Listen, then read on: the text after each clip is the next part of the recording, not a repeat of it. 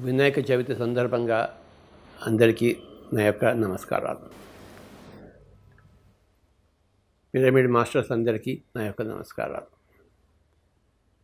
ధ్యానులందరికీ నా యొక్క ప్రణామాలు. ఈరోజు మనం ఈ వినాయక చవితి మరి వినాయకుడు ఈ విషయాల గురించి మనం కాస్త తెలుసుకుందాం. వినాయకుడు అంటే విశేషమైన నాయకుడు.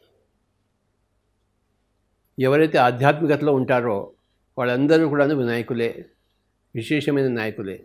ఆ నాయకత్వం అనేది ఆధ్యాత్మికత ద్వారానే వస్తుంది. నిజమైన నాయకత్వం. అందరి మంచి కోరేదే నాయకత్వం.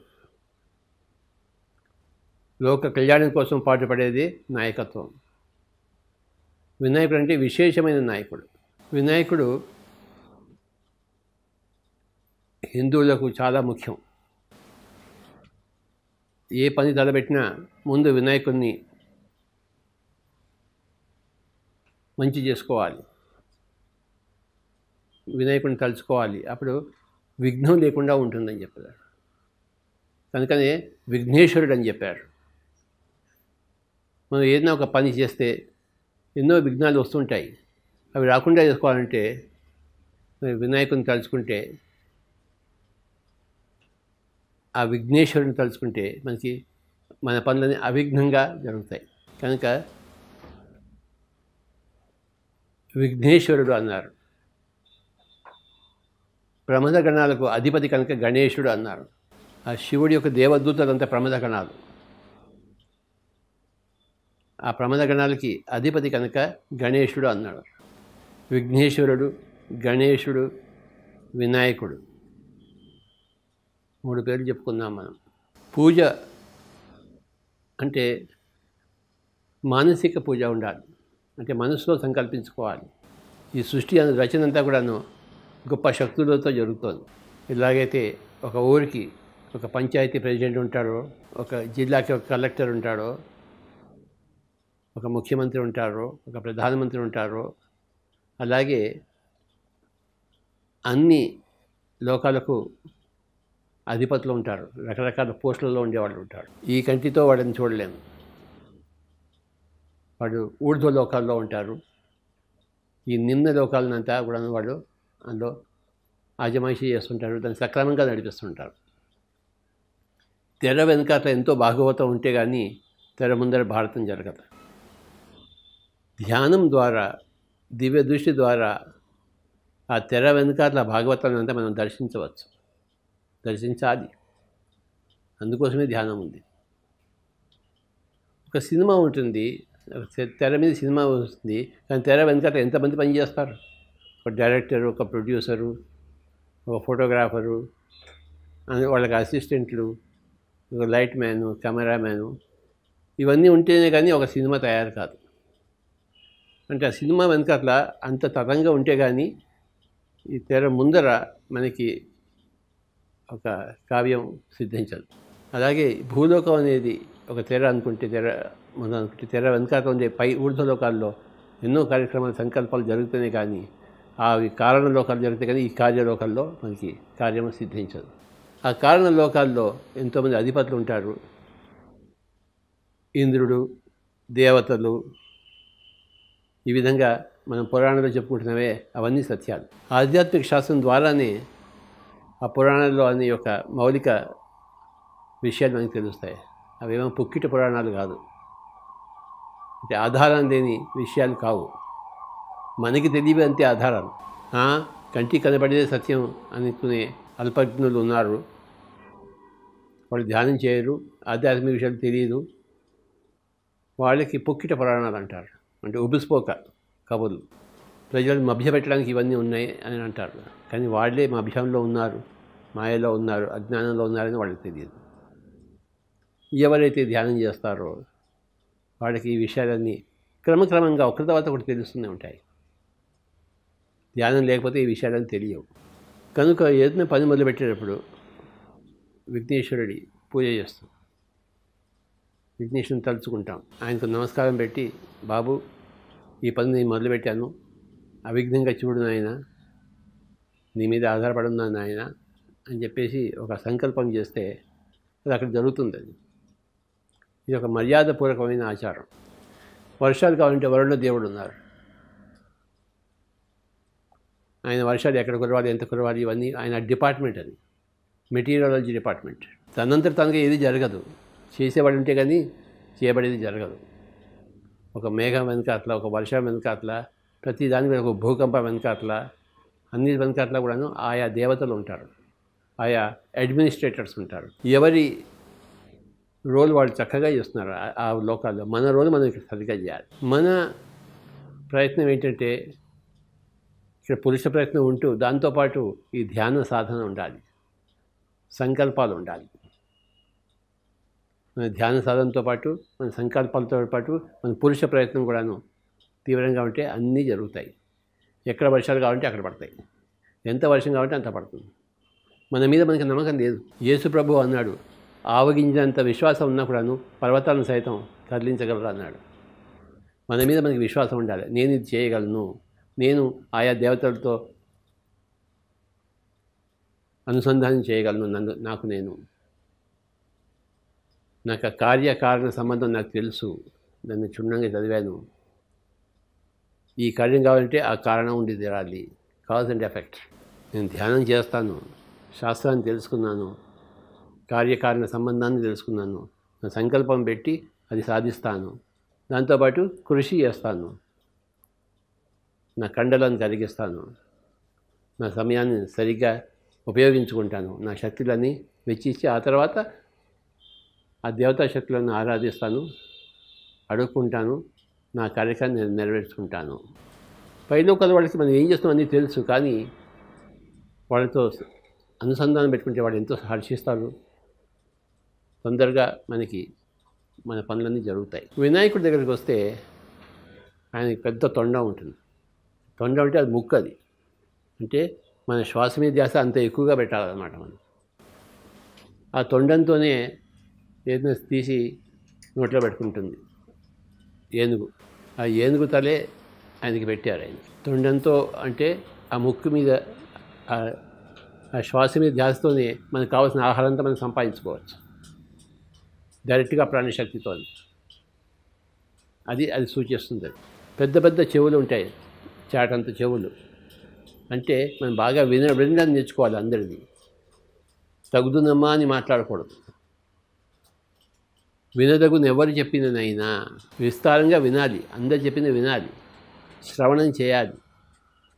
దానికి సంకేతమే చేటల్ లాంటి చెవులు. వినడమే వినరు ఎవరు. ఆధ్యాత్మికంలో లేని వాళ్ళు వినరు. ఆధ్యాత్మికంలో వినడం ఉన్నవాళ్ళే వింటారు బాగా బాగా వింటారు. ప్రతి వాళ్ళు చెప్పింది వింటారు. వినయంతో వింటారు. నేర్చుకోవాలి అనే తపనతో ఉంటారు. అందరి దగ్గర సమాచారం సేకరిస్తారు అవే చేయటంత చెవులు. నాయకుడికి. చిన్న కళ్ళు చిన్న కళ్ళు అంటే ఈ ప్రపంచాన్ని ఎక్కువ చూడవలసిన అవసరం లేదు. ఈ దృశ్యమైన ప్రపంచం చాలా చిన్నది. ఆ ఊర్ధ్వలోకాలకు పోల్చి చూసుకుంటే చాలా చిన్నది విషయం ఇది. కనుక చిన్న కళ్ళు చాలు దృశ్యమైన ప్రపంచాన్ని తిలకరించడానికి అర్థం చేసుకోవడానికి దర్శించడానికి. మరి కళ్ళు విప్పారి చూడకపోవాల్సిన అవసరం లేదు. చిన్న కళ్ళు చాలు. కనుక చిన్న కళ్ళు ఉన్నాయి. వినాయకుడు మరుగుచ్చు. చూడడానికి అంద వికారంగా ఉంటాడు. కానీ ఆయన గణాధిపతి. ఈ శరీరం ఎలా ఉన్నా కూడా మనకి పర్వాలేదు. మన శరీరమే కాదు అది మరుగుదుగా ఉంటేనేమిటి? దానికి అనాదరణ ఏమీ అక్కర్లేదు. అందంగా మన్మధుడిలానే ఉండక్కర్లేదు. మరుగుజ్జులా ఉండదు హాయిగా ఉంటుంది. శరీరం ఎలానే ఉండొచ్చు కావాల్సింది ఆత్మ పదార్థం. అది సుందరంగా ఉండాలి. కనుక ఈ శరీరం చూసి నువ్వు పెద్ద ముడిసిపోక్కర్లేదు నాయన. చెప్పడం కోసమే ఒక మరుగుజ్జు వేషం వేశారు.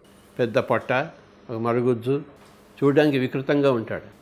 నువ్వు శరీరం కాదు చూడవలసింది ఆత్మ పదార్థము అని చెప్పడం కోసమే ఆ యొక్క రూపరేఖలు రూపరేఖలన్నీ వచ్చాయి. వినాయకుడు మూషిక వాహనుడు. అంటే ఆయన వాహనం ఎలుక. మనకేం పెద్ద మెర్సిడీస్ బెంజ్ కలదు ఒక చిన్న సైకిల్ మీద కూడా మనం వెళ్ళొచ్చు. ఇక్కడి నుంచి అక్కడ వెళ్ళాలంటే ఒక చిన్న ఎలుక చాలు. ఏనుగు మీదే ప్రయాణం చేయక్కర్లేదు. అని చెప్పడం కోసం మూషిక వాహనం అయ్యాడు. ప్రతిదానికి చక్కటి అర్థం ఉంది పురాణంలో. మనకి అవి అర్థం చేసుకునే తెలివితేటలు ఉండాలి. ఆ తెలివితేటలు ఎలా వస్తాయంటే ధ్యానం చేస్తే వస్తాయి లేకపోతే రావు. సృష్టిలో ప్రతి దానికి కారణం ఉంటుంది. ప్రతి దానికి ఒక శాస్త్రం ఉంటుంది ఒక ఆధారం ఉంటుంది ఒక లాజిక్ ఉంటుంది ఒక అర్థం ఒక పరమార్థం ఉంటుంది. అది తెలుసుకోవాలి. కనుక ఈరోజు మనం ఈ వినాయకుడు గణేశుడు విఘ్నేశ్వరుడు మూషిక వాహనుడు ఇవన్నీ మనం తెలుసుకున్నాం ఆయన ఉండ్రాళ్ళ ప్రియుడు బాగా తింటూ ఉంటాడు. అంటే ఈ లోకాన్ని బాగా ఆనందంగా అనుభవిస్తుంటాడు. మనం ఈ లోకానికి వచ్చాము ఈ లోకాన్ని ఆనందంగా అనుభవించాలి. ఏ లోకంలో ఉంటామో ఆ లోకం యొక్క వింతల విశేషాలను మనం బాగా తిలకించాలి. ప్రతి లోకంలోనే మనం ఆనందంగా ఉండాలి పూర్తిగా నూ నూటికి నూరు శాతం. ఏ వైరాగ్యం అక్కర్లేదు. మనది అంతా వైభోగం. కనుక వినాయకుడిది ఒక వైభోగం. ఆయన ఎప్పుడు ఉండాలి తింటూ ఉంటాడు పెద్ద బొజ్జు చేసుకుని పక్క వాళ్ళు చూస్తున్నారని లేదా? నేను డైటింగ్ చేస్తున్నానని ఏం అనుకోడు. తను శుభ్రంగా తింటాడు. ధ్యానం చేసేవాళ్ళు శుభ్రంగా తింటారు. ధ్యానం చేయని వాళ్ళకే ఈ భోజనం సరిగ్గా ఉండదు. ఏం తినాలో తెలియదు ఎంత తినాలో ఎలా తినాలో ఏమీ తెలియదు వాళ్ళకి. తినకూడదని తింటుంటారు. తినకూడని సమయాల్లో తింటుంటారు. ఎంజాయ్ చేయలేరు. రోగంతో ఉంటారు కనుక వాళ్ళు ఎంజాయ్ చేయలేరు. ధ్యానంతో ఉంటారు కనుక రోగం నిరోగిగా ఉంటూ అన్ని భోగాలన్నీ ఎంజాయ్ చేస్తుంటారు. వైభోగం. ఈ వినాయక చవితి సందర్భంగా మనం అందరం ఇవన్నీ విషయాలు తెలుసుకుని ఏ పని చేయాలన్నా కూడాను ముందర కాసేపు కళ్ళు రెండు మూసుకుని కూర్చుని ఒక ధ్యాన స్థితిలో పోయి ఒక సంకల్పం చేసుకుని స్వామీజీ చూడు అని చెప్పేసి ఒక సంకల్పం పడేసి చేస్తే ఫస్ట్ క్లాస్గా జరుగుతాయని పూజ అంటే ఏ పువ్వులు కోసి ఏ విగ్రహం అక్కర్లేదు. విగ్రహం చూడదు. విగ్రహం మూర్తి ఉండేది స్ఫూర్తి కోసం. పూజ కోసం కాదు. పూజ అనేది మానసికం. ద్రవ్యాలతో ఏమా పని లేదు మనకి. అంతా మనసుతోనే పని. సంకల్పంతోనే పని. ధ్యానంతోనే పని. ఈ వినాయక చవితి సందర్భంగా మనం ఈ విషయాలన్నీ తెలుసుకుని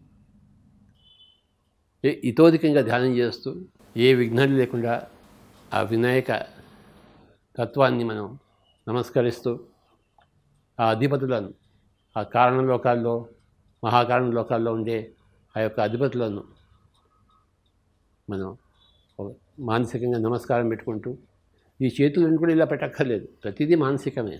సత్యం తెలుసుకుని మానసికంగా ఆ యొక్క వినయతత్వంలో ఉండి అడగనిదే అమ్మైనా పెట్టదు.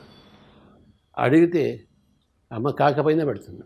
కొంచెం మనం వాళ్ళకది తెలుసు కదా మన గురించి మనం ఏం అడగాలా అని అనుకుంటే అది కాస్త కొంచెం మూర్ఖత అది వాళ్ళకి తెలుసు మనం ఏం చేస్తున్నామో ఏం చేయాలో మనకేం కావాలో వాళ్ళకన్నీ తెలుసు. కానీ ఒక ఒక మర్యాదపూర్వకమైన వినయపూర్వకమైన ఒక ఒక ఒక చిన్న ప్రార్థన మానసిక ప్రార్థన అనేది చాలా చక్కటి విషయం అది. సంస్కారవంతమైన విషయం. ఎవరు అనుకుంటే నాకేమిటి? ఎవరితో నాకేం పని ఉంది అనుకుంటే అదే కాదు. ప్రతిదీ కూడాను పరస్పర సంబంధాలు ఉంటాయి. ఇది భూలోకం. ఇక్కడ జరిగే పనులన్నీ కార్యాలన్నీ కూడాను కారణలోకాల్లో మనం సృష్టించుకుని వస్తాం. కారణలోకాల్లో ఎంతోమంది గైడ్స్ ఉంటారు. అలాగే మహాకారణ లోకాల్లో సహ సృష్టికర్తలు ఉంటారు. ఇది ఒక పెద్ద సబ్జెక్ట్ ఇది. దాన్ని బాగా తెలుసుకుని బాగా మనం ధ్యానం చేసుకుంటూ చక్కటి సంకల్పాలతో మానసిక పూజలతో మానసిక ప్రార్థనలతో నేను పద్యాలు వల్లించక్కర్లేదు కవితలు చెప్పక్కర్లేదు. శుద్ధమైన మనస్సుతో ఒక సంకల్పం అలా పెడితే ఒక వినయపూర్వకమైన సంకల్పం పెడితే అన్నీ జరుగుతాయి. శాస్త్రం తెలియదు సంకల్పాలు అంటే తెలియదు ధ్యానం అంటే తెలియదు సుకర్మ అంటే తెలియదు. అన్ని కుకర్మలు ఉంటాయి. ఏం పనులు జరుగుతాయి చెప్పండి? సుకర్మలు ఉండాలి. ధ్యానం తెలియాలి. శాస్త్రం తెలియాలి. సజ్జన సంగత్యం ఉండాలి. స్వాధ్యాయం ఉండాలి. అప్పుడు మన పనులన్నీ ఏదైనా కానీ జరుగుతుంది. ఎందుకు జరగదు? మనమంతా దైవ స్వరూపాలు. మన పనులు ఎందుకు జరగవు? లోక కళ్యాణ కార్యక్రమాలు అయితే లోక కంటకులం అయితే జరగవు. లోక కళ్యాణం కోసం ఉన్నామైతే తప్పకుండా జరుగుతుంది. లోక కళ్యాణంలోనే మన స్వీయ కళ్యాణం కూడా ఇమిడి ఉంటుంది అంటున్నారు అందరి కోసం ఒక రోడ్డు వేస్తే ఆ రోడ్లో మనం కూడా వెళ్తాం కదా. అందరికీ నమస్కారం ధ్యానులందరికీ ప్రణామాలు.